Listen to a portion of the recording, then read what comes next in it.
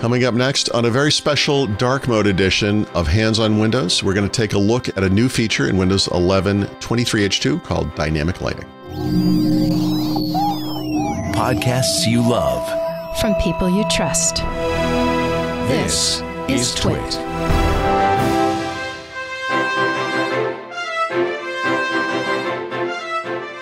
Hello, everybody, and welcome back to Hands on Windows. I'm Paul Thurrott, and I'm sitting in the dark with Hands on Windows.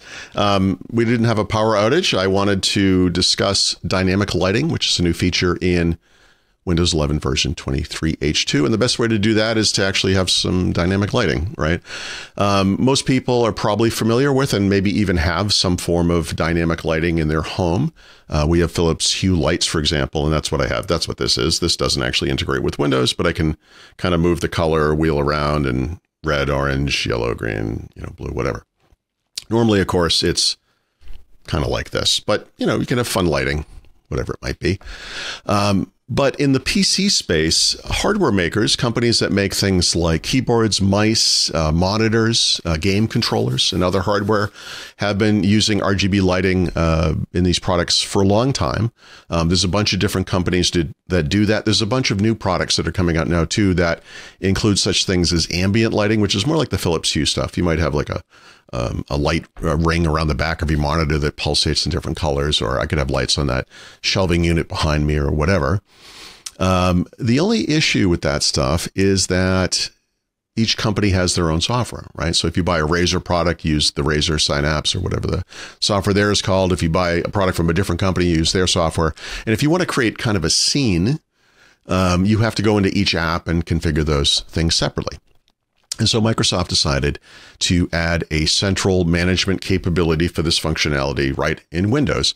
And uh, these hardware makers can integrate into this system. And uh, you, as the user, can kind of pick and choose if you want to use the Microsoft version, the, the version from the third party hardware maker. You can mix and match. There's different ways to do it. So I only have one dynamic lighting compatible device as I record this video, and it's not particularly exciting, but it's it is actually a nice little bit of hardware. But it's a uh, a Razer key, uh, gaming keyboard, right? And this can do all kind, you know, all the rainbow of colors and all that kind of stuff. So I'll hold this up as we go uh, here and there, so you can kind of see what the differences are as we um, go through this system. So from the perspective of Windows 11, this all occurs in the Settings app and you go to personalization and it's right here under dynamic lighting. I find it interesting, by the way, that this gets more prominence than start or taskbar personalization. They're obviously very excited about this feature. Um, but it's a very simple interface. Um, you get a card, which to me looks like a tile, but we're not using that term anymore, I guess, uh, at the top for each one of your compatible devices. So if I, if I had two, three, four more, that you'd see a, a big row of those things here. And then you get these global controls at the bottom. And so the system works like this. You can have these options, these settings for all devices at once, or you can click into any one of the devices, again, in my case, just the one, and have exactly the same options for all of them. Um, it's not a bad system. The only issue is you can't combine them into scenes or groups yet. And I'm, I'm thinking that must be coming because it's so obvious. Of course, it doesn't matter for me anyway because I can't um, I can't do anything about it anyway. so as far as these options go, uh, this is just the global toggle on off, right? You turn this thing off. You want to use your Razer software, software from another company, you can do that. Um, you can also, like I said, mix and match. And so you could uh, leave dynamic lighting on, but then allow those third party apps to take precedence if they're running, right? Um, on this particular computer, I've done this different ways on different computers. On this one, I actually do not have the third party software installed. So turning this off doesn't really change anything. It's not going to matter. Um, if you have some sort of ambient light control, again, that would be like the, the lights on the back of the monitor, maybe under your desk, on the shelving unit behind me, or whatever, um, you will probably get a background light control um, here. I I've done this one time. I don't have it on this particular system, but the way that this works is you can set an order of precedence here by dragging and dropping whatever options you have. So um, the one I had, I think it was called uh, Auro. Um, you, I would say, well, I want the Auro to take precedent over the lighting controller provided by the system, or vice versa, that kind of thing. Um, you can control obviously the brightness of all devices or just the one device, depending on where you are. And then where the fun kind of happens is effects. And um, We'll get to that in one second because that's really where you change all the colors and, and you know decide what you want these things to look like. Um, like I said, you you have this choice. We're going to use dynamic lighting or we're not, or you can mix and match. And I, it's not. It's pretty straightforward um, with the understanding that uh, there are a couple of things um, missing. Grouping is hard. Uh, you have to manually control each device or whatever number of devices you want to be in, uh, in what might have otherwise been called a scene. And mixing and matching can be a little hard, uh, depending on the software. Um, the Razer software I've been using does have a, a switch that will uh, allow dynamic lighting to take precedent over its own software, which is the right way to do it. It's a little buggy. I don't think it's Razer's fault per se, but it's early days, and uh, I'll give them a pass on that for now. So let's go and look at what effects are available. There are several. You can see here solid color, breathing, uh, solid color, breathing, rainbow, wave, wheel, and gradient. The default is solid color and it's set to match the Windows accent color, which in my case is kind of a light purple, and hopefully you can see that is sort of a light purple. I don't know if I can get that exactly right. Um, actually, it's very similar to the light I have uh, ambiently here in the room, uh, but I could turn that off, and I could just have a single color of you know various kinds, right? So pretty straightforward.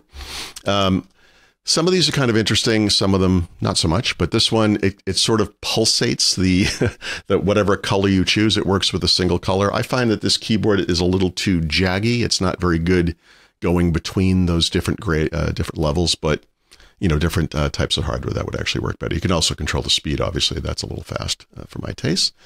Um, rainbow is exactly what it sounds like. It cycles through a set of rainbow colors, right? And brightness uh, here, and then I'm sorry, brightness is outside of there. Uh, again, the effect speed, I'll just turn it up a little bit so it kind of spazily go from color to color, but uh, you can also go forward or backwards through the, the rainbow colors. Um, wave is a uh, the first one that has two colors, right? So we have a main color now and a second color, and this allows it to transition between those two colors in some direction, right? Um, right, left, up, or down. For a keyboard, obviously, up, down doesn't make a lot of sense. There's a lot of space there, but I could go, say, from yellow to, uh, well, I guess blue. Um, and we could do it right to left, right? So it gives you that kind of, you can see the, the color kind of banding across there. It's kind of fun. And again, you can uh, change the speed. Um, wheel is, again, another one with uh, main and secondary colors. I should also say, by the way, in both of these, you do have this full color capability if you want to really uh, customize the color. I'm not sure exactly with this hardware how many different colors it supports. That might be a little um, more difficult and might or might not look as good. Um, but this this allows a different type of direction, so it kind of goes in a, a, circular motion. I'm not sure how clear that is on the screen, but it is doing a a kind of a transition there, right? Same thing with the effect speed and so forth. And then my favorite actually is gradient, and um, especially if you put it uh, in this outward mode. So um, this, it's better just to show you, like I'll do a red to blue kind of a thing. So it just has this kind of really pleasant effect. And I, and anyone who's ever used a gaming PC with RGB color, you know, keyboard is probably looking at this and saying, "Yep, this is uh, exactly what I've seen before." It's very, you know, it's very familiar and so forth. Um, but again, you can you can configure this however you'd like, all the different colors and so forth. So it's it's actually it's pretty straightforward, right? And it's um, it's not hard to configure. It just gets more complicated when you add devices, which again, I can't really show you, unfortunately. But um, people who are really into this, if you're a gamer and so forth, and you have special software that maybe is giving you an ambient representation of the game on the wall behind the display, where it's you know transferring the color scheme from the game out to the wall and giving it kind of a, a visceral, uh, peripheral effect this isn't going to be for you, right? But I, I think that this type of thing is going to become a little bit more mainstream. It's not just for gamers.